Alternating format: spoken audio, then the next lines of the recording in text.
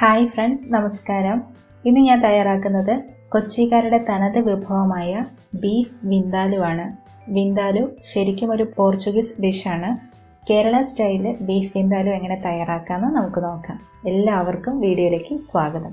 വിന്താലു തയ്യാറാക്കാൻ ഞാനിവിടെ രണ്ട് സവാള രണ്ട് ചുള വെളുത്തുള്ളി രണ്ട് തണ്ട് കറിവേപ്പില ഒരു വലിയ കഷ്ണം ഇഞ്ചി മൂന്ന് പച്ചമുളക് എന്നിവ എടുത്തിട്ടുണ്ട്. ഇനി ഇതിലേക്കുള്ള പ്രധാന ഇൻഗ്രീഡിയന്റ് ആണ് മുരിങ്ങാത്തോൽ. മുരിങ്ങാത്തോലിന്റെ പുറംഭാഗത്തുള്ള തോലി ചുരണ്ടി കളയണം എന്നിട്ട് ഇതുപോലെ ക്ലീൻ ചെയ്തെടുക്കണം.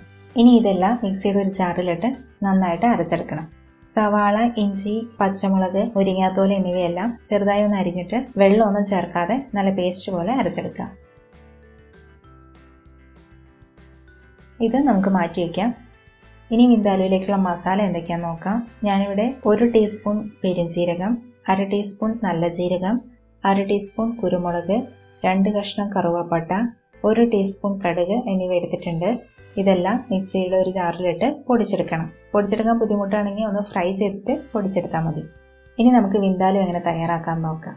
ഞാനിവിടെ അര കിലോ ബീഫാണ് എടുത്തിരിക്കുന്നത്. ഇത് കുറച്ച് നെയ്യുള്ള ബീഫാണ്. വിന്താൽ തയ്യാറാക്കുമ്പോൾ അധികം നെയ്യില്ലാത്ത ബീഫ് എടുക്കുന്ന കേട്ടോ നല്ലത്. ബീഫ് ഇതുപോലെ കനം കുറച്ച് വലിപ്പത്തിലാണ് കട്ട് ചെയ്തെടുക്കേണ്ടത്.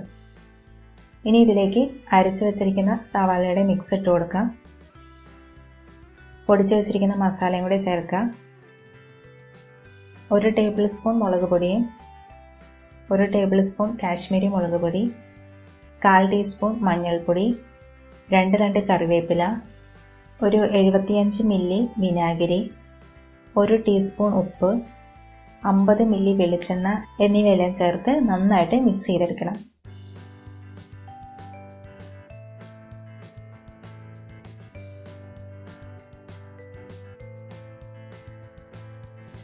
ഒരു പത്ത് മിനിറ്റ് നേരമെങ്കിലും കൈ ഉപയോഗിച്ച് നന്നായി മിക്സ് ചെയ്യണം.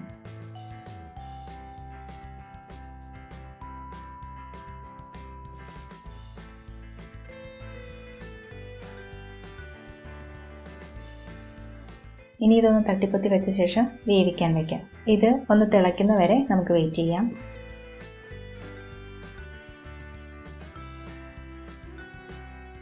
ഇപ്പോൾ ഇത് തിളച്ചു തുടങ്ങിയിട്ടുണ്ട്. ഇനി ഇതൊന്ന് ഇളക്കിയിട്ട് കൊടുക്കാം.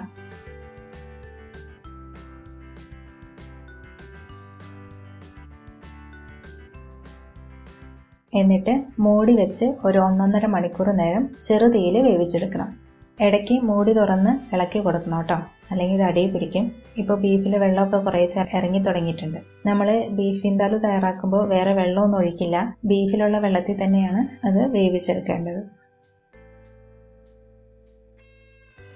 ഇപ്പോൾ ഏകദേശം ഒരു ഒന്നര മണിക്കൂറായി നമ്മുടെ ബീഫ് നന്നായിട്ട് വെന്തു. ഉപ്പൊന്ന് ചെക്ക് ചെയ്തിട്ട് ആവശ്യമുണ്ടെങ്കിൽ ചേർത്ത് കൊടുക്കാം കേട്ടോ. നമ്മുടെ ബീഫ് വിന്താലു ഓൾമോസ്റ്റ് റെഡി ആയിട്ടുണ്ട്. ഇനി നമുക്ക് തീ ഓഫ് ചെയ്യാം. ഇതിലേക്ക് ഇനി താളിച്ചൊഴിക്കണം ചൂടായ ഒരു പാത്രത്തിലേക്ക് ഒന്നര ടേബിൾ സ്പൂൺ വെളിച്ചെണ്ണ ഒഴിച്ചു കൊടുക്കാം. എണ്ണ ചൂടാകുമ്പോൾ അര ടീസ്പൂൺ കടുകിടാം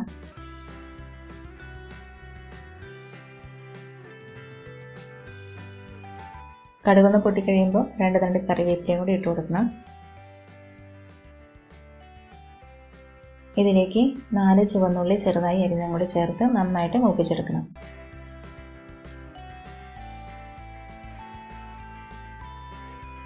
ഉള്ളിയൊക്കെ ഇപ്പോൾ നന്നായി മൂത്തിട്ടുണ്ട്. ഇനി ഇത് നമുക്ക് കറിയിലേക്ക് ഒഴിച്ചു കൊടുക്കാം നന്നായി ഒന്ന് ഇളക്കി മിക്സ് ചെയ്യാം.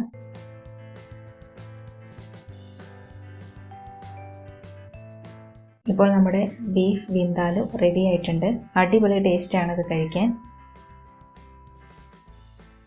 ഉണ്ടാക്കി പിറ്റേ ദിവസമാണ് ഇത് കഴിക്കേണ്ടത് കേട്ടോ. ചോറിന്റെ കൂടെ നല്ലൊരു കോമ്പിനേഷനാണ് അപ്പോൾ എല്ലാവരും ഇത് ട്രൈ ചെയ്യണം. ഇഷ്ടപ്പെട്ട് കഴിഞ്ഞാൽ കമന്റ് ചെയ്യാനും ലൈക്ക് ചെയ്യാനും മറക്കരുത്. വേറൊരു ഡിഷുമായി നമുക്ക് വീണ്ടും കാണാം. താങ്ക്